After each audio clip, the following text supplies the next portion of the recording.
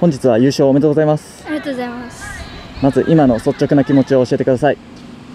えっとこの大会は自分的にも去年一昨年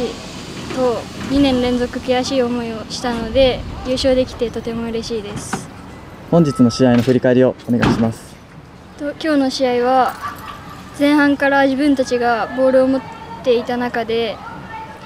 早い時間で先制点を取れて取れたことは良かったのですがその後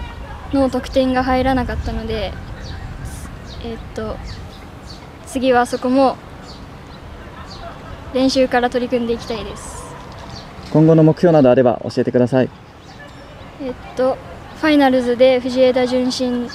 に勝つことと皇后杯でまたいい結果を残したいです。